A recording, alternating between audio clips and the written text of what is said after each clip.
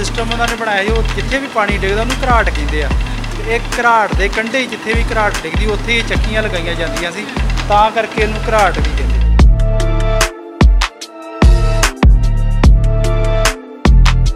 ਇੱਥੇ ਅਲੀਵਾਲ ਦੇ ਵਿੱਚ 20 ਦੇ ਕਰੀਬ ਚੱਕੀਆਂ ਹੁੰਦੀਆਂ ਸੀ, ਉਹਨਾਂ ਦੇ ਵਿੱਚੋਂ ਹੁਣ 4-5 ਹੀ ਸਿਰਫ ਚੱਲਦੀਆਂ ਪਈਆਂ ਨੇ। ਉਹ ਵੀ ਜਿਵੇਂ ਹੀ ਜਦੋਂ ਅਸੀਂ ਆਏ ਸੀ ਉਦੋਂ ਬੰਦ ਪਈ ਸੀ, ਕਿਉਂਕਿ ਇਹਨਾਂ ਕੋਲ ਕਣਕ ਭਿਉਣ ਨਹੀਂ ਕੋਈ ਆਇਆ ਇੱਕ ਤਾਂ ਰੀਜ਼ਨ ਇਹ ਆ ਵੀ ਜਦੋਂ ਇਹ ਇਹ ਇਹ ਚੱਕੀ ਚੱਲਦੀ ਆ, ਇਹ ਸਿਰਫ ਜਦੋਂ ਨਹਿਰ ਚੱਲਣੀ ਆ, ਜਦੋਂ ਨਹਿਰ ਬੰਦ ਹੋ ਗਈ, ਇਹ ਚੱਕੀਆਂ ਨਹੀਂ ਚੱਲਣੀਆਂ।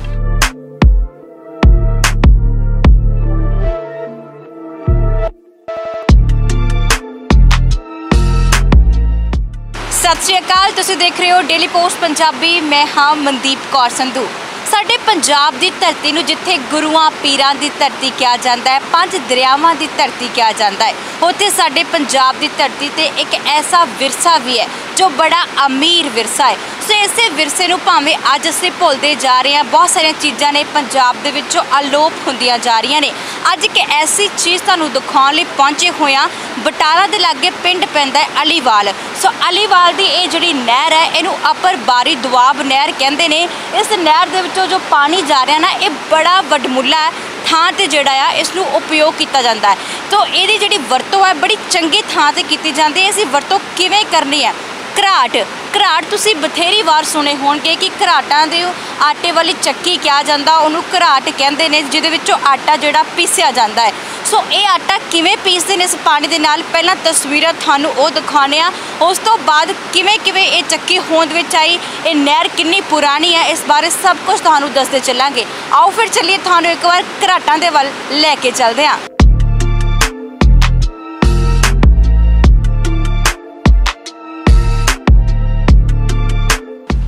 ਬਾਹਰਲੀਆਂ ਤਸਵੀਰਾਂ ਇੱਕ ਵਾਰ ਤੁਹਾਨੂੰ ਦਿਖਾਤੀਆਂ ਨੇ ਕਿ ਕਿਸ ਤਰ੍ਹਾਂ ਜਿਹੜੇ ਇਹ ਘਰਾਟ ਚੱਲਦੇ ਨੇ। ਸੋ ਪਿੰਡ ਅਲੀਵਾਲ ਦੇ ਵਿੱਚ ਇੱਕ ਘਰਾਟਾਂ ਦੀ ਤਸਵੀਰ ਇੱਥੇ ਦਿਖਾਈ। ਉੱਥੇ ਨਾਲ ਨਾਲ ਪੂਰੀ ਜਾਣਕਾਰੀ ਲਵਾਂਗੇ ਕਿੰਨੇ ਕਿਲੋ ਜਿਹੜਾ ਆਟਾ ਹੈ, ਇੱਥੇ ਪੀਸਿਆ ਜਾਂਦਾ ਹੈ, ਕਿਵੇਂ ਚੱਲਦੇ ਨੇ। ਹਰ ਇੱਕ ਜਾਣਕਾਰੀ ਕਿੰਨੇ ਇਹ ਪੁਰਾਣੇ ਘਰਾਟ ਨੇ। ਸਾਡੇ ਨਾਲ ਅੱਜ ਫਿਰ ਮੌਜੂਦ ਨੇ ਇੰਦਰਜੀਤ ਸਿੰਘ ਹਰਪੁਰਾ ਹੋਣੀ। ਸਭ ਤੋਂ ਪਹਿਲਾਂ ਉਹਨਾਂ ਦਾ ਸਵਾਗਤ ਕਰ ਲੈਣਾ ਡੇਲੀ ਪੋਸਟ ਪੰਜਾਬੀ ਤੇ। ਸਰ, ਬਹੁਤ ਬਹੁਤ ਸਵਾਗਤ ਹੈ ਜੀ, ਪਿਆਰ ਭਰੀ ਸਤਿ ਸ਼੍ਰੀ ਅਕਾਲ। ਸਤਿ ਸ਼੍ਰੀ ਅਕਾਲ ਜੀ, ਬਹੁਤ ਬਹੁਤ ਸਵਾਗਤ ਜੀ। ਤੁਹਾਡਾ ਵੀ ਤੁਸੀਂ ਬਟਾਲੇ ਵਾਰ ਵਾਰ ਆਉਂਦੇ ਜੀ, ਸਾਡੀਆਂ ਇਤਿਹਾਸਕ ਥਾਵਾਂ ਦਿਖਾਉਂਦੇ ਜੇ। ਸੋ ਡੇਲੀ ਪੋਸਟ ਦਾ ਵੀ ਬਹੁਤ ਬਹੁਤ ਧੰਨਵਾਦ ਜੀ। ਸਭ ਤੋਂ ਪਹਿਲਾਂ ਤਾਂ ਤੁਹਾਡਾ ਸ਼ੁਕਰੀਆ ਅਦਾ ਕਰਾਂਗੇ ਕਿਉਂਕਿ ਤੁਹਾਡੇ ਜ਼ਰੀਏ ਅਸੀਂ ਪੰਜਾਬ ਵਾਸੀਆਂ ਨੂੰ ਉਹ ਇਤਿਹਾਸਿਕ ਭਰੀਆਂ ਚੀਜ਼ਾਂ ਦਿਖਾ ਰਹੇ ਹਾਂ ਜੋ ਸਾਡੇ ਪੰਜਾਬ ਦੇ ਵਿਰਸੇ ਨਾਲ ਜੁੜੀਆਂ ਹੋਈਆਂ ਨੇ। ਇਹ ਵੀ ਬੜੀ ਪੁਰਾਣੀ ਚੀਜ਼ ਹੈ, ਆਮ ਤੌਰ ਤੇ ਅਲੋਪ ਹੁੰਦੀ ਜਾ ਰਹੀ ਹੈ। ਅੱਜ ਉਹ ਸਮਾਂ ਆ ਗਿਆ ਕਿ ਜਿਹੜੀ ਦੂਜੀਆਂ ਚੱਕੀਆਂ ਆ ਗਈਆਂ, ਹਨਾ, ਆਟਾ ਚੱਕੀਆਂ। ਪਰ ਇਹ ਜਿਹੜੇ ਘਰਾਟ ਨੇ, ਇਹ ਕਿਤੇ ਕਿਤੇ ਹੀ ਰਹਿ ਗਏ ਨੇ। ਸਭ ਤੋਂ ਪਹਿਲਾਂ ਗੱਲ ਕਰਦੇ ਹਾਂ ਕਿ ਇਸ ਘਰਾਟ ਦੀ ਇਹ ਕਿੰਨੇ ਕੁ ਸਾਲ ਦਾ ਪੁਰਾਣਾ ਹੋਵੇਗਾ?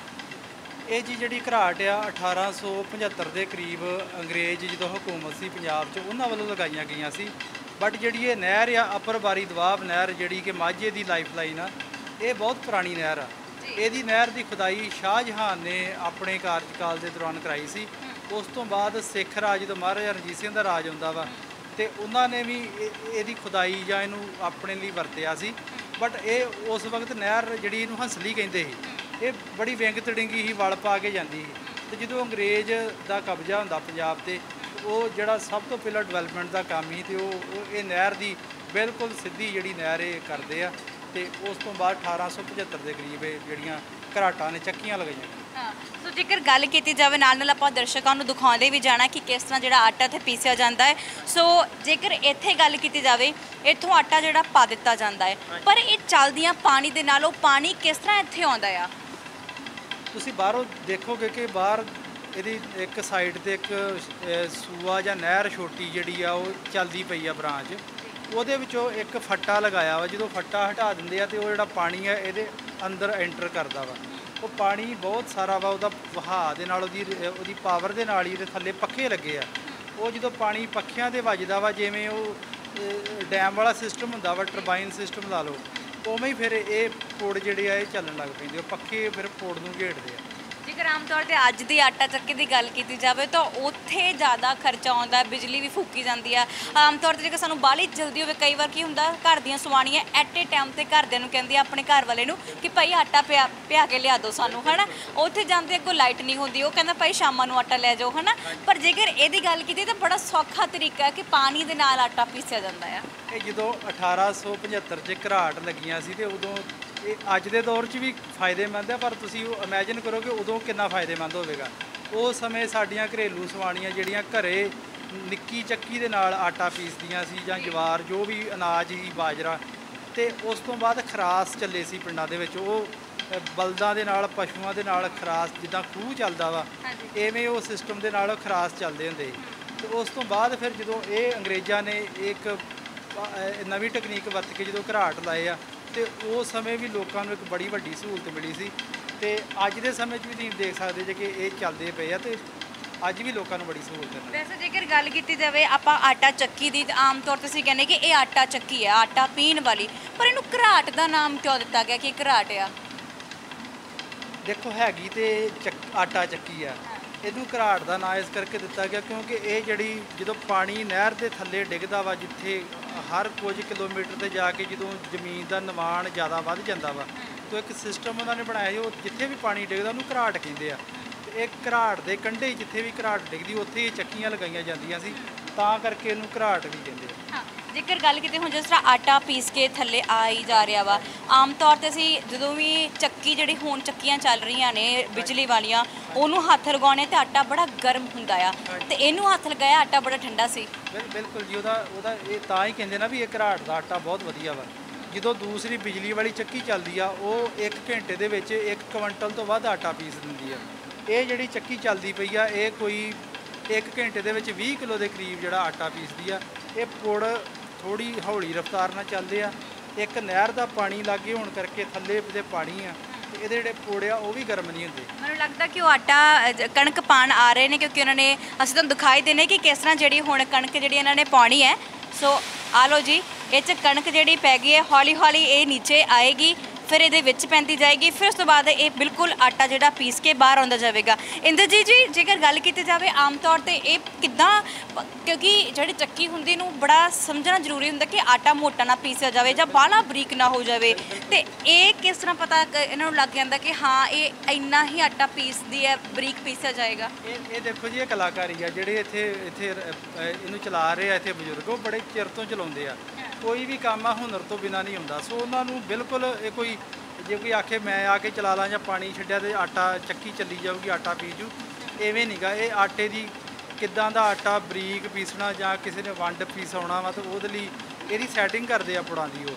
ਤੇ ਉਹ ਸੈਟਿੰਗ ਬਿਲਕੁਲ ਤਜਰਬੇ ਦੇ ਨਾਲ ਹੀ ਹੁੰਦੀ ਆ ਤੇ ਉਹ ਇਹ ਜਿਹੜੇ ਇੱਥੇ ਚਲਾ ਰਹੇ ਆ ਬਹੁਤ ਕਾਫੀ ਸਾਲਾਂ ਤੋਂ ਚਲਾ ਰਹੇ ਉਹਨਾਂ ਦਾ ਬਹੁਤ ਤਜਰਬਾ ਤੇ ਵੈਸੇ ਇਹ ਤਾਂ ਬਾਲਾ ਖਰਚਾ ਤਾਂ ਮੈਨੂੰ ਲੱਗਦਾ ਕੋਈ ਹੈ ਨਹੀਂ ਹੈ ਕਿਉਂਕਿ ਜੇਕਰ ਗੱਲ ਕੀਤੀ ਜਾਵੇ ਇਹਦੇ ਉੱਪਰ ਵੀ ਆਟਾ ਬਸ ਉੱਪਰ ਲਗਾ ਦਿੱਤੀ ਜਿੱਦਾਂ ਆਮ ਤੌਰ ਤੇ ਇਹਦੇ ਕਹਿੰਦੇ ਨਾ ਤੇਲ ਦੀ ਕੀਪ ਹੁੰਦੀ ਆ ਹਨਾ ਉਹ ਛੋਟੀ ਹੁੰਦੀ ਆ।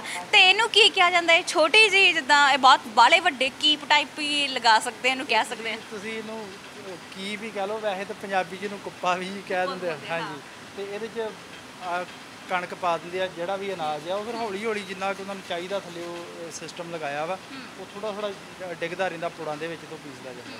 ਸੋ ਅ, ਸਹਿਯੋਗੀ ਸਾਥੀ ਮੇਰੇ ਨਾਲ ਪਰਵਿੰਦਰ ਹੋਣੀ ਨੇ। ਪਰਵਿੰਦਰ ਅਸੀਂ ਜ਼ਰੂਰ ਉਹਨਾਂ ਤਸਵੀਰਾਂ ਦਿਖਾਵਾਂਗੇ ਕਿ ਕਿੰਨੇ ਸੌਖੇ ਤਰੀਕੇ ਨਾਲ ਕਿੰਨੇ ਬਸ ਅ, ਬਹੁਤ ਜ਼ਿਆਦਾ ਇੱਥੇ ਮੈਨੂੰ ਲੱਗਦਾ ਮਿਹਨਤ ਵੀ ਨਹੀਂ। ਬਸ ਆਲੇ ਦੁਆਲੇ ਕੰਧਾਂ ਕੱਢਤੀਆਂ ਇੱਕ ਚੁੱਲ੍ਹੇ ਵਾਂਗੂ ਉਹ ਬਣਾ ਦਿੱਤਾ ਗਿਆ। ਪਹਿਲਾਂ ਥੋੜਾ ਉਹਨੂੰ ਚੜਾਈ ਦੇ ਵਿੱਚ ਜ਼ਿਆਦਾ ਕਰਤਾ ਗਿਆ ਹਨਾ? ਫਿਰ ਉਹਦੇ ਉੱਪਰ ਅ, ਇਸ ਘਰਾਟ ਨੂੰ ਜਿਹੜਾ ਚੱਕੀ ਨੂੰ ਆਟਾ ਚੱਕੀ ਨੂੰ ਜਿਹੜਾ ਲਗਾਇਆ ਗਿਆ। ਫਿਰ ਉਸ ਤੋਂ ਬਾਅਦ ਇੱਕ ਕੁੱਪਾ ਕਹਿੰਦੇ ਨੇ ਇਸ ਕੁੱਪੇ ਵਿੱਚ ਆਟਾ ਜਿਹੜਾ ਕਣਕ ਜਿਹੜੀ ਉਹ ਪਾਈ ਜਾਂਦੀ ਹੈ। ਹੌਲੀ ਹੌਲੀ ਕਣਕ ਡਿੱਗਦੀ ਡਿੱਗਦੀ ਇਹਦੇ ਵਿੱਚ ਆਉਂਦੀ ਹੈ। ਫਿਰ ਉਹ ਪੀਸ ਕੇ ਜਿਹੜੀ ਹੈ ਆਟਾ ਬਣ ਕੇ ਬਾਹਰ ਨਿਕਲਦੀ ਤੇ ਆਪਣੇ ਘਰ ਦੇ ਵਿੱਚ ਰੋਟੀ ਜਿਹੜੀ ਪੱਕਦੀ ਹੈ। ਸੋ ਹੁਣ ਤੁਹਾਨੂੰ ਉਹ ਤਸਵੀਰ ਦਿਖਾਉਣਾ ਕਿ ਜਿੱਥੋਂ ਇਹ ਪਾਣੀ ਆਉਂਦਾ ਹੈ ਬਾਹਰੋਂ ਨਹਿਰ ਤੋਂ ਪਾਣੀ ਜਦੋਂ ਆ ਕੇ ਡਿੱਗਦਾ ਆ ਸੋ ਇੱਥੇ ਆ ਜਾਂਦਾ ਹਨਾ? ਫਿਰ ਇਹ ਪਾਣੀ ਇੱਥੇ ਕਿੱਦਾਂ ਪਹੁੰਚਦਾ ਆ? ਦੇਖੋ ਜੀ ਤੁਸੀਂ ਇਹ ਥੋੜਾ ਦੱਸ ਰਹੇ ਸੀ ਵੀ ਇਹ ਬੜਾ ਆਸਾਨ ਬਟ ਇਹ ਆਸਾਨ ਵੀ ਨਹੀਂਗਾ। ਇਹਦੇ ਥੱਲੇ ਬੜਾ ਇੱਕ ਸਿਸਟਮ ਲੱਗਾ ਵਾ ਜਿਹੜਾ ਉਹਨੂੰ ਪੁੜਾਂ ਨੂੰ ਘੁਮਾਉਂਦਾ ਵਾ। ਤੇ ਆ ਤੁਹਾਨੂੰ ਦੱਸਦੇ ਆ ਕਿ ਪਾਣੀ ਜਦੋਂ ਉਧਰੋਂ ਛੱਡ ਦਿੰਦੇ ਆ ਉਧਰੋਂ ਫੱਟਾ ਹਟਾ ਦਿੱਤਾ ਜਾਂਦਾ ਤੇ ਪਾਣੀ ਇਹ- ਇੱਥੇ ਅੰਦਰ ਇਹ ਇਹ ਜਿਹੜੀ ਚੱਕੀ ਆ ਇਹ ਹਾਲਾਂਕਿ ਬੰਦ ਹੋਈ ਆ ਇੱਥੇ ਚੱਲਦੀ ਨਹੀਂ ਪਈ। ਇਹ ਜਿਹੜਾ ਪਾਣੀ ਸੀ ਇੱਥੇ ਇਹ ਥੱਲੇ ਇੱਕ ਪੱਖੇ ਲੱਗੇ ਹੁੰਦੇ ਆ ਤੁਹਾਨੂੰ ਬਾਹਰ ਇੱਕ ਪੱਖਾ ਪੁਰਾਣਾ ਪਿਆ ਉਹ ਵੀ ਦਿਖਾਲਦੇ ਆ। ਉਹ ਜਦੋਂ ਪੱਖਿਆਂ ਤੇ ਪਾਣੀ ਜ਼ਿਆਦਾ ਆ ਕੇ ਰਫ਼ਤਾਰ ਚ ਵੱਜਦਾ ਤਾਂ ਉਹ ਫਿਰ ਟਰਬਾਈਨ ਵਾਂਗੂ ਘਿੜਦਾ ਵਾ। ਹਾਂ। ਉਹ ਫਿਰ ਪੋੜ ਨੂੰ ਉਹਦੇ ਨਾਲ ਅਟੈਚ ਪੋੜ ਹੁੰਦਾ ਤੇ ਪੋੜ ਫਿਰ ਚੱਲਣ ਲੱਗ ਪੈਂਦਾ। ਇਹ ਪਾਣੀ ਫਿਰ ਪੱਖੇ ਨੂੰ ਘੁਮਾ ਕੇ ਤੇ ਨਾਲ ਹੀ ਜਿਹੜੀ ਦੂਸਰੇ ਬੰਨੇ ਇੱਕ ਡਰੇਨ ਸਿਸਟਮ ਕੀਤਾ ਵਾ। ਇਧਰੋਂ ਦੀ ਪਾਣੀ ਜਾ ਕੇ ਤੇ ਵਾਪਸ ਨਹਿਰ ਦੇ ਵਿੱਚ ਬਾਹਰ ਜਾ ਕੇ ਚੱਲ ਜਾਂਦਾ। ਹਾਂ ਵੈਸੇ ਹੈ ਤਾਂ ਖਤਰਾ ਵੀ ਆ ਹਨਾ? ਇਹ ਤਾਂ ਬੜਾ ਡੇਂਜਰਸ ਹੈ ਮੈਨੂੰ ਜਿੰਨਾ ਆਸਾਨ ਲੱਗ ਰਿਹਾ ਸੀਗਾ ਮੈਨੂੰ ਲੱਗਾ ਕਿ ਬੜਾ ਸੌਖਾ ਜਿਹਾ ਕੰਮ ਹੈ ਬਸ ਇਹ ਪਾਣੀ ਤੇ ਚੱਲਣ ਲੱਗ ਪਏ ਕਿ ਕੋਈ ਬਾਲਾ ਖਰਚਾ ਵੀ ਨਹੀਂ। ਪਰ ਹੁਣ ਪਤਾ ਲੱਗ ਰਿਹਾ ਦੇਖ ਦੇਖ ਕੇ ਕਿ ਕਿੰਨਾ ਡੂੰਗਾ ਪਾਣੀ ਉਧਰੋਂ ਨਹਿਰ ਦੇ ਵਿੱਚੋਂ ਪਹਿਲਾਂ ਨੀਚੇ ਆਉਂਦਾ ਆ, ਫਿਰ ਇੱਥੋਂ ਨੀਚੇ ਗੁਜ਼ਰਦਾ ਹੋਇਆ, ਉਹਨਾਂ ਚੱਕੀਆਂ ਤੱਕ ਪਹੁੰਚੇਗਾ, ਉਹਨਾਂ ਚੱਕੀਆਂ ਦੇ ਵਿੱਚ ਜਿਹੜੇ ਪੱਖੇ ਲੱਗੇ, ਉਹਨਾਂ ਪੱਖਾਂ ਦੇ ਨਾਲ ਟਕਰਾਏਗਾ, ਫਿਰ ਉਹ ਗਿੜੇਗਾ ਇਹ ਬਹੁਤ ਔਖਾ ਹੈ ਨਾ ਸੋ ਜੀ, ਜੇਕਰ ਗੱਲ ਕੀਤੀ ਜਾਵੇ ਇਹ ਕਿੰਨੇ ਕੁ ਕੁਆਂਟਲ ਜਿਹੜਾ ਆਟਾ ਆ, ਪੀ ਲੈਂਦੀ ਆ, ਤੇ ਉਸ ਤੋਂ ਬਾਅਦ ਕਿੰਨਾ ਜਿਹੜਾ ਆ ਟਾਈਮ ਜਿਹੜਾ ਕਿੰਨਾ ਲੱਗਦਾ ਆ? ਇਹ ਚੱਕੀਆਂ ਜਿਹੜੀਆਂ ਅੱਜ ਦੀਆਂ ਚੱਕੀਆਂ, ਮਸ਼ੀਨੀ ਚੱਕੀਆਂ, ਕਿਉਂਕਿ ਹੁਣ ਤਾਂ ਮੋਟਰਾਂ ਬਹੁਤ ਵੱਡੀਆਂ ਆ ਗਈਆਂ ਉਹਨਾਂ ਦੇ ਮੁਕਾਬਲੇ ਬੜਾ ਸਲੋ ਚੱਲਦੀਆਂ ਵਾ। ਇੱਕ ਘੰਟੇ ਦੇ ਵਿੱਚ 20 ਕਿਲੋ ਦੇ ਕਰੀਬ ਆਟਾ ਪੀਸਦਾ ਵਾ। ਬਟ ਤੁਸੀਂ ਦੇਖ ਸਕਦੇ ਹੋ ਇੱਥੇ ਕਾਫੀ ਚੱਕੀਆਂ ਲੱਗੀਆਂ। ਤੇ ਜਦੋਂ ਹੁਣ ਇਹ ਸਾਡੇ ਲੋਕਾਂ ਦੀ ਅਣਗਹਿਲੀ ਲਾ ਲਓ ਹਾਲਾਂਕਿ ਆਟਾ ਇਹਨਾਂ ਦਾ ਸਸਤਾ ਵੀ ਆ। ਇਹ ਜਿੱਦਾਂ ਆਮ ਅਸੀਂ ਚੱਕੀ ਤੋਂ ਆਟਾ ਭਿਉਣ ਜਾਂਦੇ ਆ ਤਾਂ 2 ਰੁਪਏ ਕਿਲੋ ਚੱਕ 1 ਕਿਲੋ ਦੀ ਭਿਆਈ ਲੈਂਦੇ ਆ। ਤੇ ਨਾਲ ਮਣ ਪਿੱਛੇ 2 ਕਿਲੋ ਕਾਟ ਕੱਟਦੇ ਆ। ਹਾਂ ਤੇ ਜੇ ਤੁਸੀਂ 50 ਕਿਲੋ ਲੈ ਕੇ ਜਾਂਦੇ ਜੇ ਤੁਹਾਨੂੰ ਉਹ ਉਹ ਅ, 40 ਕਿਲੋ ਲੈ ਕੇ ਜਾਂਦੇ 38 ਕਿਲੋ ਵਾਪਸ ਮੋੜਨਗੇ ਆਟਾ। ਇਹ ਕਾਟ ਕੋਈ ਨਹੀਂ ਕੱਢਦੇ। 1.5 ਰੁਪਈਆ ਇਹ ਭਿਆਈ ਲੈਂਦੇ ਨੇ। ਪਰ ਉਹ ਸਾਡੀ ਜਾਣ ਕੇ ਹੀ ਅਣਗਹਿਲੀ ਵੀ ਆਉਂਦੇ ਨਹੀਂਗੇ ਉਹਦੇ ਕਾਰਨ ਬਹੁਤ ਸਾਰੀਆਂ ਚੱਕੀਆਂ ਜਿਹੜੀਆਂ ਬੰਦ ਹੋ ਗਈਆਂ। ਇੱਥੇ ਅਲੀਵਾਲ ਦੇ ਵਿੱਚ 20 ਦੇ ਕਰੀਬ ਚੱਕੀਆਂ ਹੁੰਦੀਆਂ ਸੀ। ਉਹਨਾਂ ਦੇ ਵਿੱਚੋਂ ਹੁਣ 4-5 ਹੀ ਸਿਰਫ ਚੱਲਦੀਆਂ ਪਈਆਂ ਨੇ। ਉਹ ਵੀ ਜਿਵੇਂ ਹੀ ਜਦੋਂ ਅਸੀਂ ਆਏ ਸੀ ਉਦੋਂ ਬੰਦ ਪਈ ਸੀ ਕਿਉਂਕਿ ਇਹਨਾਂ ਕੋਲ ਕਣਕ ਭਿਉਣ ਨਹੀਂ ਸੀ ਕੋਈ ਆਇਆ। ਸੋ ਬੇਸ਼ੱਕ ਇਹ ਥੋੜਾ ਸਲੋ ਪੀਂਦੀਆਂ ਸੀ ਪਰ ਇਹ- ਇਹਨਾਂ ਦੀ ਕੁਆਂਟੀ ਗਿਣਤੀ ਕਾਫੀ ਸੀ। ਉਹ ਕੋਈ ਪਰੇਸ਼ਾਨੀ ਨਹੀਂ ਹੁੰਦੀ। ਜਿਵੇਂ ਤੁਸੀਂ ਆ ਕੇ ਜਿਹੜੇ ਇੱਥੇ ਅੰਕਲ ਜੀ ਇਸ ਚੱਕੀਆਂ ਨੂੰ ਦੇਖਭਾਲ ਕਰਦੇ ਨੇ ਸਾਂਭ ਰਹੇ ਨੇ ਚਲਾ ਰਹੇ ਨੇ ਜੇਕਰ ਗੱਲ ਕੀਤੀ ਜਾਵੇ ਉਹਨਾਂ ਦੀ ਤਾਂ ਉਹ ਕੀ ਕਹਿੰਦੇ ਨੇ ਕਿ ਕਿੰਨੇ ਕੁ ਲੋਕ ਇੱਥੇ ਆ ਕੇ ਉਹਨਾਂ ਕੋਲ ਕਣਕ ਲੈ ਕੇ ਆਉਂਦੇ ਨੇ ਕਿੰਨਾ ਕਾਟਾ ਜਿਹੜਾ ਆ ਉਹ ਪਿਆ ਲੈਂਦੇ ਨੇ ਉਹਨਾਂ ਦਾ ਕੀ ਕਹਿਣਾ ਆ? ਮੈਂ ਉਹਨਾਂ ਨੂੰ ਇੱਕ ਦਿਨ ਪੁੱਛਿਆ ਸੀ ਇਹਦੇ ਬਾਰੇ ਜੀ ਉਹ ਕਹਿੰਦੇ ਸੀ 20 ਸਾਲ ਪਹਿਲਾਂ ਕਾਫੀ ਲੋਕ ਜਿਹੜੇ ਆ ਉਹ ਇੱਥੇ ਆਟਾ ਭਿਉਣ ਆਉਂਦੇ ਸੀ। ਬਟ ਸਮੇਂ ਦੇ ਨਾਲ ਜਦੋਂ ਜਿਉਂ-ਜਿਉਂ ਤਬਦੀਲੀ ਆਉਂਦੀ ਆ ਸਭ ਕੁਝ ਬਦਲਦਾ ਜਾਂਦਾ ਤੇ ਲੋਕਾਂ ਦਾ ਰੁਝਾਨ ਵੀ ਦਿਨੋਂ ਦਿਨ ਇਹਨਾਂ ਚੱਕੀਆਂ ਵੱਲੋਂ ਘਟ ਗਿਆ। ਇੱਕ ਤਾਂ ਰੀਜ਼ਨ ਇਹ ਆ ਵੀ ਜਦੋਂ ਇਹ ਇਹ ਇਹ ਚੱਕੀ ਚੱਲਦੀ ਆ ਇਹ ਸਿਰਫ ਜਦੋਂ ਨਹਿਰ ਚੱਲਣੀ ਆ ਜਦੋਂ ਨਹਿਰ ਬੰਦ ਹੋ ਗਈ ਇਹ ਚੱਕੀਆਂ ਨਹੀਂ ਚੱਲਣੀਆਂ। ਸੋ ਜਦੋਂ ਨਹਿਰ ਦਾ ਸੀਜ਼ਨ ਹੁੰਦਾ ਉਦੋਂ ਹੀ ਚੱਕੀਆਂ ਚੱਲਦੀਆਂ ਵਾ। ਸੋ 12 ਮਹੀਨੇ ਨਾ ਚੱਲਣ ਕਰਕੇ ਵੀ ਇਹ ਕਿਤੇ ਨਾ ਕਿਤੇ ਲੋਕਾਂ 'ਚ ਵੀ ਫਿਰ ਇਹ ਗੱਲ ਦਾ ਹੁੰਦਾ ਨਹੀਂ ਪਤਾ ਨਹੀਂ ਚੱਕੀ ਚੱਲਦੀ ਪਈ ਆ ਕਿ ਬੰਦ ਪਈ ਆ। ਸੋ ਇਹਦਾ ਇੱਕ ਕਾਰਨ ਇਹ ਵੀ ਆ ਬਾਕੀ ਕਿਤੇ ਨਾ ਕਿਤੇ ਮਾਡਰਨ ਜ਼ਿਆਦਾ ਹੋ ਗਈਆਂ ਤਾਂ ਲੱਗਦਾ ਵੀ ਸ਼ਾਇਦ ਇਹ ਚੱਕੀ ਦਾ ਆਟਾ ਐਵੇਂ ਹੀ ਹੈ। ਹਨਾ ਸਾਡੇ ਮਨ ਦੇ ਵਿੱਚ ਅਕਸਰ ਆਉਂਦਾ ਹੈ।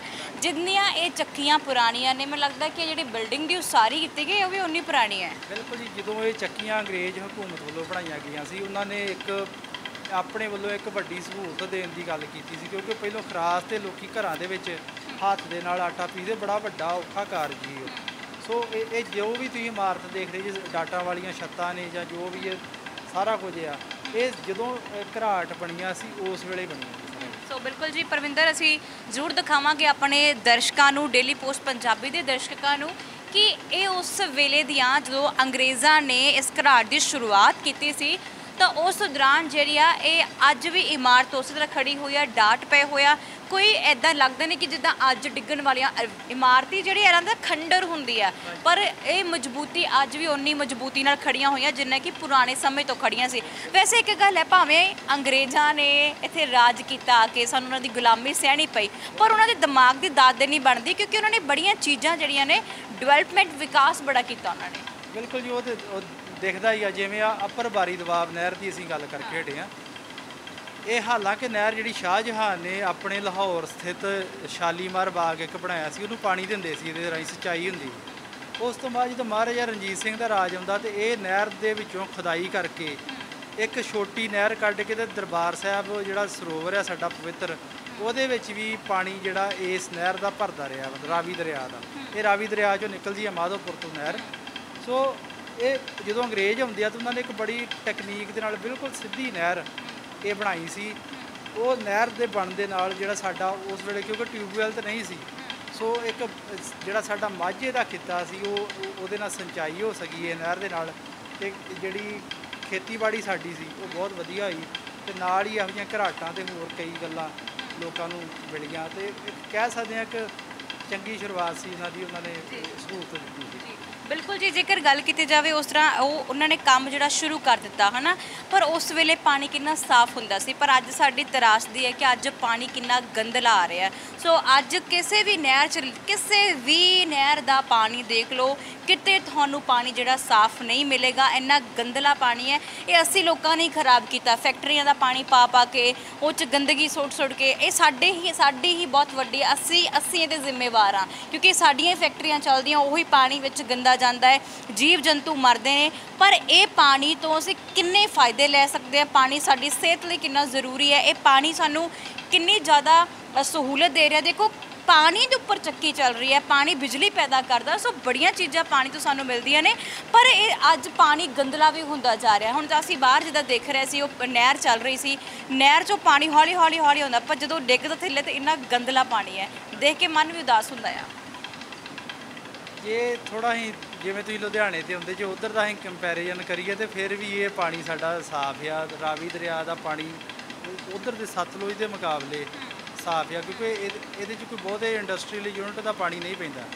ਬਟ ਫਿਰ ਵੀ ਮਤਲਬ ਕਿਤੇ ਨਾ ਕਿਤੇ ਪਿੰਡਾਂ ਥਾਵਾਂ ਜਿੱਥੋਂ ਵੀ ਨਹਿਰ ਲੰਘਦੀ ਆ ਕਿਤੇ ਨਾ ਕਿਤੇ ਸੀਵਰੇਜ ਦਾ ਪਾਣੀ ਉਹ ਪਾਇਆ ਹੀ ਹੁੰਦਾ ਵਾ ਇਹ ਸਾਡੀ ਗਲਤ ਗੱਲ ਹੈ ਨਹੀਂ ਕਰਨਾ ਚਾਹੀਦਾ। ਸਰਕਾਰ ਤੇ ਪਿੱਛੇ ਜੇ ਵੀ ਇੱਕ ਪ੍ਰੋਜੈਕਟ ਲੀਕ ਰਹੀ ਕਿ ਜਿਹੜਾ ਇਹ ਪਾਣੀ ਆ ਨਹਿਰ ਦਾ ਇਹਨੂੰ ਥੋੜਾ ਹੋਰ ਪਿਉਰੀਫਾਈ ਕਰਕੇ ਲੋਕਾਂ ਨੂੰ ਪੀਣ ਲਈ ਦਿੱਤਾ ਜਾਵੇ। ਸੋ ਜੇ ਮਤਲਬ ਅਸੀਂ ਇਹਦੀ ਪਾਣੀ ਨੂੰ ਨਾ ਗੰਦਲਾ ਕਰੀਏ ਤੇ ਪਾਣੀ ਬਹੁਤ ਵਧੀਆ ਪੀ- ਪੀਣ ਦੇ ਕੰਮ ਵੀ ਆ ਸਕਦਾ ਹੈ। ਵੈਸੇ ਜਿੱਦਾਂ ਜਿੱਦਾਂ ਅਸੀਂ ਐਡਵਾਂਸ ਹੁੰਦੇ ਜਾ ਰਹੇ ਹਾਂ ਕੀ ਲੱਗਦਾ ਹੈ ਕਿ ਇਹ ਜਿਹੜੇ ਘਰਾਟ ਨੇ ਇਹ ਕਿੰਨੀ ਛੇਤੀ ਬੰਦ ਹੋ ਜਾਣਗੇ? ਜਿਹੜੀ ਇਹ ਹੋਣ ਵਾਲੀ ਹਾਲਤ ਵੇਖੀ ਜਾਂ ਜਿੱਦਾਂ ਲੋਕਾਂ ਦਾ ਕੋਈ ਧਿਆਨ ਨਹੀਂਗਾ ਫਿਰ ਤੇ ਬੰਦ ਹੀ ਬੰਦ ਆ ਜੀ ਆ ਜਿਹੜੇ ਚਲਾ ਰਹੇ ਨੇ ਇਹਨਾਂ ਨੂੰ ਬਜ਼ੁਰਗ। ਮੈਨੂੰ ਲੱਗਦਾ ਵੀ ਉਹਨਾਂ ਤੋਂ ਬਾਅਦ ਕਿਸੇ ਨੇ ਇਹਨਾਂ ਨੂੰ ਚਲਾਉਣਾ ਵੀ ਨਹੀਂ ਸਿੱਖਿਆ। ਤੇ ਉਹਨਾਂ ਤੋਂ ਬਾਅਦ ਵੀ ਇਹ ਬੰਦ ਹੋ ਜਾਣਗੇ ਜਾਂ ਲੋਕਾਂ ਦਾ ਜੇ ਨਾ ਕੋਈ ਇੱਧਰ ਧਿਆਨ ਰਿਹਾ ਤੇ ਜਿੱਦਾਂ ਤੁਸੀਂ ਇੱਕ ਚੱਕੀ ਚੱਲਦੀ ਪਈ ਆ ਇੰਨੀਆਂ ਚੱਕੀਆਂ ਦੇ ਵਿੱਚੋਂ ਬਹੁਤ ਸਾਰੀਆਂ ਬੰਦ ਹੋ ਗਈਆਂ। ਤੇ ਫਿਰ ਹੋ ਸਕਦਾ ਇਹ ਵੀ ਚੱਕੀ ਬੰਦ ਹੋ ਜਾਵੇ। ਹਾਂ, ਬਿਲਕੁਲ, ਇਹ ਬੜੀ ਦੁੱਖ- ਵਾਲੀ ਗੱਲ ਹੋਏਗੀ। ਜਦੋਂ ਇੱਥੇ ਜਿਹੜੇ ਅੰਕਲ ਜੀ ਬਜ਼ੁਰਗ ਨੇ ਕਾਫੀ, ਉਹ ਇੱਥੇ ਰਹਿ ਰਹੇ ਨੇ। ਉਹਨਾਂ ਨੂੰ ਜਿੰਨਾ ਕੁ ਵਿਚਾਰਿਆਂ ਨੂੰ ਆ ਜਾਂਦਾ ਆਟਾ, ਉਹਨਾਂ ਕੁ ਪੀ ਦਿੰਦੇ ਹੈਗੇ ਨੇ, ਪੀਸ ਦਿੰਦੇ ਨੇ, ਹਨਾ? ਪੀ ਦੇਣਾ ਪੰਜਾਬੀ, ਪੀ ਦੇਣਾ ਬੋਲਦੇ ਆ, ਹਨਾ? ਉਹਨੂੰ ਪੀ ਦਿੰਦੇ ਨੇ। ਫਿਰ ਮੈਨੂੰ ਲੱਗਦਾ ਕਿ ਹਰ ਇੱਕ ਇਨਸਾਨ ਨੇ ਇਸ ਦੁਨੀਆ ਤੋਂ ਰੁਖਸਤ ਹੋਣਾ ਤਾਂ ਜ਼ਰੂਰ ਹੁੰਦਾ ਹੈ। ਪਰ ਜਦੋਂ ਇਸ ਦੁਨੀਆ ਨੂੰ ਅਲਵਿਦਾ ਆਖਣਗੇ, ਲੱਗਦਾ ਇਹ ਹੈ ਕਿ ਵਾਕਈ ਹੀ ਇਹ ਘਰਾਟ ਜਿਹੜੇ ਬੰਦ ਹੋਣਗੇ, ਕਿਉਂਕਿ ਹਾਲੇ ਵੀ ਅਸੀਂ ਉਹਨਾਂ ਨੂੰ ਜਦੋਂ ਮਿਲੇ ਸੀ ਆ ਕੇ, ਉਹ ਜ਼ਿਆਦਾ ਬੋਲਦੇ ਤਾਂ ਨਹੀਂ ਹੈ, ਪਰ ਇੰਨਾ ਜ਼ਰੂਰ ਦੱਸਦੇ ਸੀ ਕਿ ਬੇਟਾ, ਇੱਥੇ ਬਹੁਤ ਘੱਟ ਜਿਹੜੇ ਲੋਕ ਨੇ, ਉਹ ਆਟਾ ਭਿਉਣ ਦੇ ਲਈ ਆਉਂਦੇ ਨੇ if ਜੇ ਭਿਉਂਦੇ ਵੀ ਆ, ਤਾਂ ਬਸ ਕੁਝ ਕੁਝ ਘਰ ਜਿਹੜੇ ਪੱਕੇ ਲੱਗੇ ਹੋਏ ਆ, ਬਸ ਉਹੀ ਆਉਂਦੇ ਆ। ਪਰ ਜੇਕਰ ਜ਼ਰੂਰੀ ਹੋ ਜਾਂਦਾ ਹੈ ਕਿ ਜੇਕਰ ਇਹ ਆਟਾ ਤੁਹਾਨੂੰ, ਇਹ ਤੁਹਾਡੀ ਸਿਹਤ ਲਈ ਵੀ ਚੰਗਾ ਹੈ, ਕਿਉਂਕਿ ਇਹਦੀ ਜਿਹੜੀ ਤਸੀਰ ਹੈ, ਉਹ ਬੜੀ ਨਰਮ ਹੈ, ਠੰਡੀ ਹੈ, ਆਮ ਤੌਰ ਤੇ ਚੱਕੀਆਂ 'ਚੋਂ ਬਹੁਤ ਗਰਮ ਆਟਾ ਨਿਕਲਦਾ ਹੈ। ਹੁਣ ਵੀ ਜੇਕਰ ਅਸੀਂ ਹੱਥ ਲਗਾਵਾਂਗੇ ਤਾਂ ਬਿਲਕੁਲ ਠੰਡਾ ਠੰਡਾ ਆ ਰਿਹਾ। ਇਹ ਪਾਣੀ ਦੇ ਕਰਕੇ ਹੁੰਦਾ ਹੋਏਗਾ ਬਿਲਕੁਲ ਜੀ ਇਹਦੇ ਥੱਲੇ ਪੁੜਾਂ ਦੇ ਥੱਲੇ ਪਾਣੀ ਆ ਜਿਹੜਾ ਥੱਲੜਾ ਪੋੜਿਆ। ਉਹਦੇ ਨਾਲ ਵੀ ਕਿਤੇ ਨਾ ਕਿਤੇ ਪਾਣੀ ਜਿਹੜਾ ਉਹ ਟੱਚ ਹੁੰਦਾ ਵਾ ਤੇ ਇਹ ਜਿਹੜੇ ਪੋੜੇ ਆ ਇਹ ਗਰਮ ਨਹੀਂ ਹੁੰਦੇ। ਇੱਕ ਵੱਡੀ ਕਾਰਨ ਹੈ ਕਿ ਸਲੋ ਚੱਲਦੇ ਆ। ਜਿੰਨੀ ਤੇਜ਼ ਚੱਲੇਗਾ ਤਾਂ ਪੋੜ 'ਚ ਉਨੀ ਜਿਹੀ ਰਗੜਪਲ ਜ਼ਿਆਦਾ ਪੈਦਾ ਹੋਵੇਗਾ। ਸੋ ਇਹ ਇਸ ਕਾਰਨ ਇਹ ਠੰਡਾ ਵਾ ਆਟਾ ਹੈ ਇੱਕ ਸਵਾਲ ਹੋਰ ਜੇਕਰ ਪਾਣੀ ਜਿਹਦਾ ਵਹਾ ਥੋੜਾ ਨਾ ਤੇਜ਼ ਹੋਵੇ ਠੀਕ ਠਾਕ ਪਾਣੀ ਵਹਿੰਦਾ ਹੋਵੇ ਫਿਰ ਇਹ ਨਹੀਂ ਚੱਲੂਗਾ? ਨਹੀਂ ਚੱਲੇਗਾ ਜੀ ਇਹ ਜਿਹੜਾ ਉਹ ਬਾਹਰ ਨਹਿਰ ਬਣੀ ਹੈ ਜਿਹੜੀ ਇਹਦੀ ਉਹ ਇਸੇ ਸਿਸਟਮ ਨਾਲ ਹੀ ਬਣੀ ਜਿੰਨਾ ਪਾਣੀ ਨੂੰ ਚਾਹੀਦਾ ਵਾ ਉਹਨਾਂ ਹੁੰਦਾ ਹੀ ਹੁੰਦਾ ਉਹਦੇ ਵਿੱਚ। ਤੇ ਜੇ ਓਵਰਫਲੋ ਹੋਊਗੀ ਤੇ ਉਹ ਉਹ ਬਾਹਰ ਚੱਲ ਜਾਏਗਾ ਉਹ ਇਹ ਪਾਣੀ ਉਨਾ ਹੀ ਆਉਂਦਾ ਵਾ ਜਿੰਨਾ ਇਹਨੂੰ ਚਾਹੀਦਾ। ਉਹ ਸਿਸਟਮ ਐਵੇਂ ਦਾ ਬਣਿਆ। ਬਿਲਕੁਲ ਜੀ ਸੋ ਇਸ ਦੇ ਨਾਲ ਹੀ ਇਹ ਕਿੰਨਾ ਕੁ ਤੁਸੀਂ ਕਿਹਾ ਸੀ ਕਿੰਨਾ ਕੁਇੰਟਲ ਜਿਹੜਾ ਆਟਾ ਪਿਆ ਲੈਂਦੀ ਹੈ? ਇੱਕ ਘੰਟੇ ਦੇ ਵਿੱਚ 20 ਕਿਲੋ ਆਟਾ ਪੀਸਦਾ ਜੀ ਇਹਦੇ ਵਿੱਚ। ਇੱਕ ਚੱਕੀ ਜਿਹੜਾ 20 ਕਿਲੋ ਪੀਸਦੀ ਆ 1 ਘੰਟੇ ਦੇ ਵਿੱਚ ਜੇ ਆਮ ਚੱਕੀ ਦੀ ਗੱਲ ਕੀਤੀ ਜਾਵੇ ਉਹ? ਉਹ ਉਹ ਕੁਇੰਟਲ ਤੋਂ ਵੱਧ ਆਟਾ ਪੀਸਦੀ ਇੱਕ ਘੰਟੇ ਦੇ ਵਿੱਚ।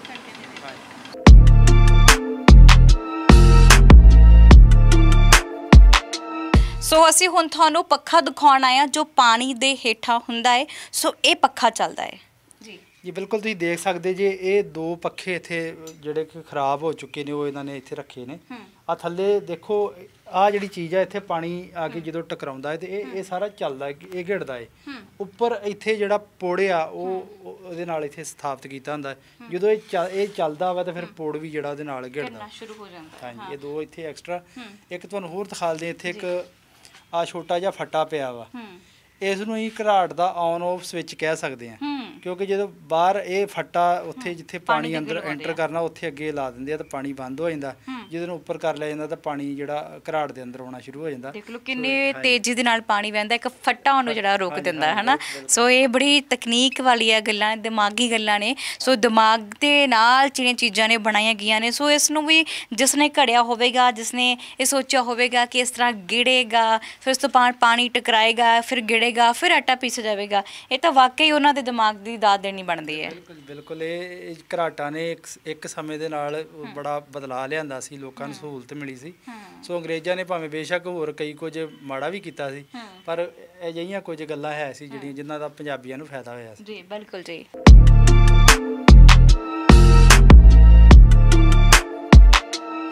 ਜਿੱਦਾਂ ਅਸੀਂ ਤੁਹਾਨੂੰ ਪਹਿਲੇ ਘਰਾਟ ਦਿਖਾਈ ਨਹੀਂ ਇੱਕ ਤਸਵੀਰ ਹੋਰ ਵੀ ਦਿਖਾਉਣੀ ਬਣਦੀ ਹੈ, ਕਿਉਂਕਿ ਇਹਦੇ ਲਾਗੇ ਹੀ ਇੱਕ ਮੌਜੂਦ ਹੋਰ ਘਰਾਟ ਵੀ ਹੈ, ਜੋ ਇਸ ਵੇਲੇ ਖੰਡਰ ਦਾ ਰੂਪ ਜਿਹੜਾ ਧਾਰਨ ਕਰਦਾ ਜਾ ਰਿਹਾ ਹੈ। ਬਿਲਕੁਲ ਉੱਥੇ ਚੱਕੀਆਂ ਨਹੀਂ ਚੱਲਦੇ ਹੈਗੀਆਂ, ਪਰ ਅਸੀਂ ਤੁਹਾਨੂੰ ਉਹ ਤਸਵੀਰ ਜਿਹੜੀ ਦਿਖਾਵਾਂਗੇ ਜ਼ਰੂਰ। ਆਓ ਫਿਰ ਅਸੀਂ ਇੰਦਰਜੀਤ ਹੋਣਾ ਦੇ ਨਾਲ ਅੱਗੇ ਅੱਗੇ ਵੱਧਦੇ ਚੱਲਦੇ ਹੋਏ ਤੁਹਾਨੂੰ ਉਹ ਤਸਵੀਰ ਵੀ ਜ਼ਰੂਰ ਦਿਖਾਣੇ ਆ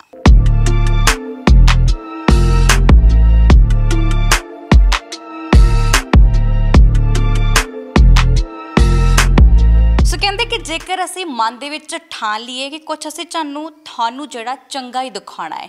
ਸੋ ਅਸੀਂ ਜਦੋਂ ਉੱਥੋਂ ਘਰਾਟ ਤੋਂ ਨਿਕਲੇ ਤਾਂ ਅਸੀਂ ਇੱਕ ਹੋਰ ਤਸਵੀਰ ਦੇਖੀ। ਐਸੀ ਤਸਵੀਰ ਜੋ ਕਿ ਮਨ ਨੂੰ ਹਲੂਣ ਦਿੰਦੀ ਹੈ। ਇੱਕ ਪਾਸੇ ਤਾਂ ਅਸੀਂ ਤੁਹਾਨੂੰ ਦਿਖਾ ਕੇ ਆਏ ਕਿ ਘਰਾਟ ਚੱਲਦੇ ਨੇ, ਆਟਾ ਪੀਸਿਆ ਜਾਂਦਾ। ਦੂਜੇ ਪਾਸੇ ਉਹ ਤਸਵੀਰ ਦਿਖਾਉਣ ਜਾ ਰਹੇ ਹਾਂ, ਜਿੱਥੇ ਘਰਾਟ ਬਿਲਕੁਲ ਬੰਦ ਪਏ ਨੇ। ਸਾਡੇ ਨਾਲ ਫਿਰ ਇੰਦਰਜੀਤ ਹੋਣੀ ਵੀ ਮੌਜੂਦ ਨੇ, ਇਸ ਤਰ੍ਹਾਂ ਗੱਲਬਾਤ ਜਿਹੜੀ ਜਾਰੀ ਰਹੇਗੀ ਪਰ ਤਸਵੀਰ ਪਹਿਲਾਂ ਤੁਹਾਨੂੰ ਦਿਖਾਉਣਾ ਕਿ ਕਿਸ ਤਰ੍ਹਾਂ ਜਿਹੜੀ ਹੈ ਘਰਾਟ ਵਾਲੀ ਪਹਿਲੀ ਬਿਲਡਿੰਗ ਸੀ ਜਿੱਥੇ ਪਹਿਲਾਂ ਬਹੁਤ ਸਾਰੇ ਲੋਕ ਜਿਹੜੇ ਆਟਾ ਭਿਉਂਦੇ ਸਨ ਤੇ ਪਰ ਅੱਜ ਇਹ ਇੱਕ ਖੰਡਰ ਦਾ ਰੂਪ ਧਾਰਨ ਕਰ ਚੁੱਕੀ ਹੈ। ਪਿਛਲੀ ਤਸਵੀਰ ਦਿਖਾਉਂਦੇ ਹਾਂ ਕਿ ਕਿਸ ਤਰ੍ਹਾਂ ਪਹਿਲਾਂ ਚੱਕੀਆਂ ਹੁੰਦੀਆਂ ਸੀ। ਇੰਦਰਜੀਤ ਜੀ ਪਹਿਲਾਂ ਇੱਥੇ ਚੱਕੀਆਂ ਹੁੰਦੀਆਂ ਸੀ ਉਹ ਕਿੱਧਰ ਅਲੋਪ ਹੀ ਗਈਆਂ? ਜੀ ਬਿਲਕੁਲ ਇੱਥੇ ਜਿਹੜੀ ਜਗ੍ਹਾ ਅਸੀਂ ਹੁਣ ਪਹੁੰਚੇ ਇੱਥੇ 12 ਚੱਕੀਆਂ ਚੱਲਦੀਆਂ ਸੀ। ਸੋ ਇਹ ਚੱਕੀਆਂ ਵੀ ਬੰਦ ਹੋ ਗਈਆਂ ਲੋਕ ਆਉਂਦੇ ਨਹੀਂ ਆਟਾ ਪਿਉਣੇ ਥੋੜਾ ਨਹਿਰ ਦੇ ਕੰਢੇ ਅੱਗੇ ਜਾ ਕੇ ਆ। ਤੋ ਇਹ ਵੀ ਬੰਦ ਹੋਣ ਦਾ ਕਾਰਨ ਹੈ ਕਿ ਲੋਕ ਜਦੋਂ ਆਟਾ ਭਿਉਣੀ ਆਉਂਦੇ ਤੇ ਫਿਰ ਹੌਲੀ ਹੌਲੀ ਇਹ ਚੱਲਣੀਆਂ ਬੰਦ ਹੋ ਗਈਆਂ ਤੇ ਖੰਡਰ ਬਣ ਗਏ ਬਿਲਕੁਲ ਅਸੀਂ ਜਿਸ ਤਰ੍ਹਾਂ ਤੁਹਾਨੂੰ ਅਸੀਂ ਗੁਜ਼ਰ ਰਹੇ ਸੀ ਬਹੁਤ ਹੀ ਲੰਬਾ ਜਿਹੜਾ ਘਾਹ ਸੀ ਫੂਸ ਉੱਗਿਆ ਹੋਇਆ ਹੈ ਆਲੇ ਦੁਆਲੇ ਰੁੱਖੀ ਨੇ। ਹਾਲਾਂਕਿ ਪਾਣੀ ਜਿਹੜਾ ਇੱਥੋਂ ਜ਼ਰੂਰ ਵਗਦਾ ਹੈ ਪਰ ਇੱਕ ਤਸਵੀਰ ਇਹ ਵੀ ਕਾਰਨ ਹੋ ਸਕਦਾ ਤਾਂ ਬੰਦ ਹੋਣ ਦਾ ਕਿਉਂਕਿ ਜਿਹੜਾ ਇੱਥੋਂ ਪਹਿਲਾਂ ਪਾਣੀ ਆਉਂਦਾ ਸੀ ਉਹ ਜਿਹੜਾ ਇਧਰੋਂ ਪਾਣੀ ਆਉਣਾ ਬੰਦ ਹੋ ਗਿਆ। ਕਿ ਇਹਦਾ ਕਾਰਨ ਇਹ ਵੀ ਮੁੱਖ ਜਿਹੜਾ ਬੰਦ ਹੋਣ ਦਾ ਹੋ ਸਕਦਾ ਨਹੀਂ ਉਹ ਪਾਣੀ ਤਾਂ ਹੀ ਬੰਦ ਹੋਇਆ ਜਦੋਂ ਘਰਾਟ ਚੱਲਣੇ ਬੰਦ ਹੋ ਗਏ ਤੇ ਫਿਰ ਪਾਣੀ ਬਾਅਦ ਚ ਬੰਦ ਕਰ ਦਿੱਤਾ ਗਿਆ ਕਿਉਂਕਿ ਕੱਲਾ ਪਾਣੀ ਫਿਰ ਇੱਧਰ ਆ ਵੀ ਨਹੀਂ ਆ ਕੇ ਕੋਈ ਫਾਇਦਾ ਨਹੀਂ ਇੱਥੋਂ ਓਵਰਫਲੋ ਹੋਣਾ ਸੀ ਪਾਣੀ। ਸੋ ਇਹ ਤਾਂ ਬੰਦ ਕੀਤਾ ਗਿਆ। ਹੁਣ ਤੁਸੀਂ ਦੇਖ ਸਕਦੇ ਜੇ ਹੁਣ ਤੇ ਇੱਥੇ ਕੁਝ ਗਾਰਡਰ ਦੇਖ ਸਕਦੇ ਜੇ ਵੀ ਪਏ ਆ ਬੜੇ ਕੀਮਤੀ ਆ। ਕੁਝ ਲੋਕ ਲਾ ਕੇ ਵੀ ਲੈ ਗਏ ਆ ਬਟ ਬਹੁਤ ਭਾਰੀ ਗਾਰਡਰ ਆ ਤੇ ਇੱਥੇ ਅਮਲੀ ਅਕਸਰ ਹੁਣ ਬੈਠੇ ਰਹਿੰਦੇ ਆ ਕੇ। ਘਰਾਟ ਵਾਲੀ ਤਾਂ ਹੁਣ ਪੁਰਾਣੀ ਬੀਤੇ ਦੀ ਗੱਲ ਹੋ ਗਈ। ਬਿਲਕੁਲ ਜੀ ਇਹ ਘਰਾਟ ਵਾਲੀ ਬੀਤ ਦੀ ਗੱਲ ਹੋ ਗਈ ਕਿਉਂਕਿ ਤਸਵੀਰ ਤੁਹਾਨੂੰ ਦਿਖਾਉਣੀ ਬਣਦੀ ਸੀ ਕਿਉਂਕਿ ਅਸੀਂ ਅੱਜ ਉਹ ਚੀਜ਼ਾਂ ਤੁਹਾਨੂੰ ਦਿਖਾਉਣ ਦੇ ਲਈ ਨਿਕਲੇ ਹੋਏ ਆ। ਇੱਕ ਪਾਸੇ ਤਾਂ ਤੁਹਾਨੂੰ ਚੰਗੀ ਤਸਵੀਰ ਦਿਖਾਤੀ ਕਿ ਘਰਾਟ ਚੱਲ ਰਹੇ ਨੇ। ਦੂਜੇ ਪਾਸੇ ਉਹ ਤਸਵੀਰ ਦਿਖਾਉਣੀ ਲਾਜ਼ਮੀ ਹੈ ਕਿ ਇਹਨਾਂ ਵਿਚਾਰਿਆਂ ਦਾ ਹਾਲ ਕੀ ਬਣ ਗਿਆ। ਕਿਸੇ ਵੇਲੇ ਇੱਥੇ ਰੌਣਕਾਂ ਹੁੰਦੀਆਂ ਸੀ ਬਾਪੂ ਜਾਂ ਬਜ਼ੁਰਗ ਕਹਿ ਲਓ ਜਾਂ ਕੋਈ ਵੀ ਘਰ ਦਾ ਬੰਦਾ ਕਹਿ ਲਓ ਕਿ ਸਾਈਕਲ ਤੇ ਆਉਂਦਾ ਸੀ ਜਾਂ ਮੋਟਰਸਾਈਕਲ ਤੇ ਆਉਂਦਾ ਸੀ ਆਪਣੇ ਪਿੱਛੇ ਦਾਣਿਆਂ ਦੀ ਬੋਰੀ ਰੱਖ ਕੇ ਲੈ ਕੇ ਆਉਂਦਾ ਸੀ। ਫਿਰ ਉਸ ਤੋਂ ਬਾਅਦ ਆਉਂਦੇ ਆਉਂਦੇ ਆਉਂਦੇ ਇੱਥੇ ਅ, ਜਦੋਂ ਅੱਗੇ ਵੀਰ ਬੈਠੇ ਹੁੰਦੇ ਸੀ ਉਹ ਇੱਥੇ ਆਟਾ ਪੀਂਦੇ ਸੀ। ਪਰ ਸਮਾਂ ਬਦਲਦਾ ਗਿਆ, ਹਾਲਾਤ ਬਦਲਦੇ ਗਏ ਤੇ ਅੱਜ ਇਹ ਐਸਾ ਰੂਪ, ਐਸੀ ਤਸਵੀਰ ਧਾਰਨ ਕਰ ਲਈ ਕਿ ਇੱਥੇ ਜਿਹੜੇ ਨੇ ਇੱਕ ਡਰੱਗ ਵਾਲਾ ਅੱਡਾ ਕਹਿ ਸਕਦੇ ਬਣਦਾ ਜਾ ਰਿਹਾ ਕਿਉਂਕਿ ਆਮ ਤੌਰ ਤੇ ਇੱਥੇ ਜਿਹੜੇ ਨੌਜਵਾਨ ਆਉਂਦੇ ਨੇ ਨਸ਼ਾ ਤਾਂ ਪੰਜਾਬ ਦੇ ਵਿੱਚ ਹੈ ਹੀ ਹੈ, ਸੋ ਆਪਾਂ ਮੁਨਕਰ ਜਿਹੜਾ ਨਹੀਂ ਹੋ ਸਕਦੇ। ਤੇ ਇਹ ਜਿਹੜੀ ਤਸਵੀਰ ਹੈ, ਇੱਕ ਵਾਰੀ ਅਸੀਂ ਅੱਗੇ ਵੀ ਜ਼ਰੂਰ ਦਿਖਾ ਦਿੰਨੇ ਆ ਸੋ ਇੱਥੇ ਸਿਰਫ ਤੇ ਸਿਰਫ ਉਹ ਨਸ਼ੇੜੀ ਆ ਕੇ ਬੈਠ ਜਾਂਦੇ ਨੇ ਤੇ ਬਸ ਆਪਣੀ ਜਿਹੜੀ ਇਹ ਨਸ਼ੇ ਦੀ ਵਰਤੋਂ ਕਰਕੇ ਨਿਕਲ ਜਾਂਦੇ ਨੇ। ਸੋ, ਇੱਥੇ ਜਾਨਵਰ ਵੀ ਕਹਿ ਇੰਦਰਜੀਤ ਜੀ ਲੱਗਦਾ ਹੈ ਇੱਥੇ ਜਾਨਵਰ ਵੀ ਹੈ ਕਿ ਬਾਹਰ ਕਹਿ ਰਹੇ ਸੀ ਕਿ ਅੰਦਰ ਸੱਪ ਵੀ ਹੋ ਸਕਦੇ ਆ ਕਿਉਂਕਿ ਇਸ ਤੋਂ ਅੱਗੇ ਤਾਂ ਕੋਈ ਵੀ ਨਹੀਂ ਹੈ। ਬਿਲਕੁਲ ਜੀ ਆ ਤੁਸੀਂ ਆਵਾਜ਼ਾਂ ਸੁਣ ਸਕਦੇ ਜੀ। ਇੱਥੇ ਕਿਉਂਕਿ ਹੁਣ ਜਦੋਂ ਹੈ ਹੀ ਕੋਈ ਨਹੀਂਗਾ ਤੇ ਇੱਥੇ ਸੱਪ ਜਾਂ ਹੋਰ ਕਈ ਜੰਗਲੀ ਜੀਵ ਜੰਤੂ ਸੂਰ ਇੱਥੇ ਮੋਰ ਵੀ ਆ ਇੱਥੇ ਹਿਰਨ ਵੀ ਆ ਜਿਹੜੇ ਅਲੀਵਾਲ ਚ ਥੋੜਾ ਇਲਾਕਾ ਹੈ ਜੰਗਲੀ ਇਲਾਕਾ ਵਾ। ਸੋ ਇੱਥੇ ਹੁਣ ਇਹ- ਕੁਝ ਹੀ ਆ ਜੀ। ਜੀ ਬਿਲਕੁਲ ਜੀ। ਸੋ ਅਸੀਂ ਤਸਵੀਰਾਂ ਤੁਹਾਨੂੰ ਦਿਖਾਈਆਂ ਨੇ। ਇੱਥੇ 12 13 ਚੱਕੀਆਂ ਸੀਗੀਆਂ। ਸੋ ਇੱਥੇ ਵੀ ਪਾਣੀ ਆਂਦਾ ਸੀ ਤੇ ਆਟਾ ਜਿਹੜਾ ਪੀਸਿਆ ਜਾਂਦਾ ਸੀ। ਪਰ ਹੁਣ ਜਿਹੜੀ ਹੈ ਇਹ ਜਿਹੜੀ ਚੱਕੀ ਹੈ ਇਹ ਬਿਲਕੁਲ ਹੀ ਨਾਮਾਤਰ ਦੇ ਕਰੀਬ ਹੋ ਗਈ ਹੈ। ਤੋ ਇਸ ਤੋਂ ਬਾਅਦ ਫਿਰ ਅਸੀਂ ਤੁਹਾਨੂੰ ਲਗਾਤਾਰ ਜਿਹੜੀ ਗੱਲਬਾਤ ਜਾਰੀ ਰੱਖੀ ਸੀ ਤੇ ਉਸ ਤੋਂ ਬਾਅਦ ਇੱਕ ਤਸਵੀਰ ਤੁਹਾਨੂੰ ਦਿਖਾਉਣੇ ਆ ਬਿਲਕੁਲ ਬਾਹਰਲੀ ਜਿਹਦੇ ਵਿੱਚ ਪਹਿਲਾਂ ਨਹਿਰ ਅ, ਲਾਗੇ ਚੱਲਦੀ ਹੁੰਦੀ ਸੀਗੀ। ਸੋ ਇਹ ਜਿਹੜੀਆਂ ਚੀਜ਼ਾਂ ਉਹ ਨੇ। ਬਿਲਕੁਲ ਜੀ, ਤਸਵੀਰਾਂ ਤੁਸੀਂ ਦੇਖ ਸਕਦੇ ਹੋ ਕਿ ਇੱਥੋਂ ਜਿਹੜਾ ਪਾਣੀ ਸੀ, ਪਹਿਲਾਂ ਆਉਂਦਾ ਸੀ, ਇਹ ਜਿਹੜੇ ਘਰਾਟ ਸੀ, ਪਹਿਲਾਂ ਉਧਰੋਂ ਨਹਿਰ ਚੋਂ ਪਾਣੀ ਆਉਂਦਾ, ਫਿਰ ਇਹਨਾਂ ਘਰਾਟਾਂ ਤੱਕ ਪਹੁੰਚਦਾ ਸੀ, ਪਹੁੰਚਦਾ ਪਹੁੰਚਦਾ ਆਟਾ ਪੀਸੀ ਜਾਂਦਾ ਸੀ, ਇਹ ਪਾਣੀ ਫਿਰ ਇਧਰੋਂ ਜਿਹੜਾ ਨਿਕਲਦਾ ਜਾ ਰਿਹਾ ਸੀ। ਇਸ ਤੋਂ ਇਹ ਦੋਨੋਂ ਪਾਸੇ ਪਾਣੀ ਦਾ ਸੁਮੇਲ ਹੁੰਦਾ ਸੀ ਤੇ ਇਸ ਤੋਂ ਹੀ ਜਿਹੜਾ ਘਰਾਟਾ ਚੱਲਦੀਆਂ ਸਨ, ਆਟਾ ਜਿਹੜਾ ਪੀਸਿਆ ਜਾਂਦਾ ਸੀ। ਪਰ ਹੁਣ ਜਿਹੜਾ ਇਹ ਜਿਹੜਾ ਹਰ ਇੱਕ ਚੀਜ਼ ਜਿਹੜੀ ਖੰਡਰ ਦਾ ਰੂਪ ਧਾਰਨ ਕਰਦੀ ਜਾ ਰਹੀ ਹੈ, ਕਿਉਂਕਿ ਅਸੀਂ ਡੇਲੀ ਪੋਸਟ ਪੰਜਾਬੀ ਤੇ ਪਿਛਲੇ ਲੰਮੇ ਸਮੇਂ ਤੋਂ ਤੁਹਾਨੂੰ ਅਜਿਹੀਆਂ ਚੀਜ਼ਾਂ ਦਿਖਾ ਰਹੇ ਹਾਂ ਜੋ ਸਾਡੇ ਪੰਜਾਬ ਦੀ ਤਾਂ ਅਮੀਰ ਵਿਰਾਸਤ ਹੈ, ਪਰ ਸਾਡੇ ਲੋਕਾਂ ਦੇ ਕਰਕੇ ਅਸੀਂ ਅਣਗਹਿਲੀ ਕਰਦੇ, ਉਹਨੂੰ ਅਣਗੌਲਿਆਂ ਕਰ ਦਿੰਦੇ ਆ ਜਿਸ ਕਰਕੇ ਹੁਣ ਇਹ ਸਿਰਫ ਤੇ ਸਿਰਫ ਖੰਡਰ ਬਣਦੀਆਂ ਜਾ ਰਹੀਆਂ ਨੇ। ਮੈਨੂੰ ਲੱਗਦਾ ਕਿ ਸਿਰਫ ਤੇ ਸਿਰਫ ਹੋਰ 4-5 ਸਾਲ ਦੀ ਇਹ ਵੀ ਮਹਿਮਾਨ ਹੋਏਗੀ। ਜੇਕਰ ਇੱਥੋਂ ਦੇ ਲੋਕਾਂ ਨੇ ਇਹ ਇੱਟਾਂ ਚੱਕੀਆਂ ਨਾ, ਗਾਡਰ ਨਾ ਚੱਕੇ, ਤਾਂ 4-5 ਸਾਲ ਤੱਕ ਇਹ ਵੀ ਜਿਹੜੀ ਸਾਨੂੰ ਕੁਝ ਵੀ ਇੱਥੇ ਜਦੋਂ ਆਵਾਂਗੇ, ਲੱਗਦਾ ਪੇੜ ਪੌਦੇ ਦਿਖਣਗੇ ਜਿਹੜੇ ਆਲੇ ਦੁਆਲੇ ਜਿੱਦਾਂ ਘਾਹ ਫੂਸ ਉੱਗਿਆ ਹੋਇਆ, ਸਾਨੂੰ ਲੱਗਦਾ 4-5 ਸਾਲ ਤੱਕ ਉਹੀ ਉੱਗੇ ਹੋਏ ਦਿਖਾਈ ਦੇਣਗੇ। ਜੇਕਰ ਅਸੀਂ ਸਾਂਭ ਸਕਦੇ ਹੋਈਏ ਜਾਂ ਫਿਰ ਅਸੀਂ ਉਸ ਪੁਰਾਣੀ ਚੀਜ਼ ਨੂੰ ਲੈ ਕੇ ਆਉਣਾ ਚਾਹੀਏ, ਤਾਂ ਲਿਆ ਸਕਦੇ ਹਾਂ। ਕਿਉਂ ਨਹੀਂ? ਕਿਉਂਕਿ ਤੁਹਾਨੂੰ ਇੱਕ ਖੜੀ ਬਿਲਡਿੰਗ ਮਿਲ ਰਹੀ ਹੈ। ਇਹਦੇ ਉੱਪਰ ਕੀ ਲਗਾਉਣਾ? ਸਿਰਫ ਚੱਕੀਆਂ ਲਗਾਉਣੀਆਂ, ਪਾਣੀ ਤੁਹਾਡੇ ਲਾਗੇ ਚੱਲਦਾ ਪਿਆ ਹੈ ਤੇ ਉਸੇ ਤਰ੍ਹਾਂ ਫਿਰ ਤੁਸੀਂ ਜਿਹੜਾ ਆਪਣਾ ਚੰਗਾ ਬਿਜ਼ਨਸ ਵੀ ਚਲਾ ਸਕਦੇ ਹਾਂ। ਪਰ ਇਹ ਤਾਂ ਸਾਡੀ ਤਰਾਸਦੀ ਹੈ ਕਿ ਹਾਲੇ ਤੱਕ ਅਸੀਂ ਇਸ ਨੂੰ ਸਾਂਭਣ ਤੋਂ ਜਿਹੜਾ ਸਮਰਥ ਰਹੇ ਹਾਂ, ਅਸਮਰਥ ਰਹੇ ਹਾਂ। ਇਸੇ ਤਰ੍ਹਾਂ ਹੋਰ ਰੰਗ ਦੇ ਨਾਲ ਫਿਰ ਤੋਂ ਹਾਜ਼ਰ ਜ਼ਰੂਰ ਹੋਵਾਂਗੇ। ਸਹਿਯੋਗੀ ਸਾਥੀ ਪਰਵਿੰਦਰ ਦੇ ਨਾਲ ਮਨਦੀਪ ਕੌਰ ਸੰਧੂ, ਪਿੰਡ ਅਲੀਵਾਲ ਤੋਂ। ਸਤਿ ਸ੍ਰੀ ਅਕਾਲ।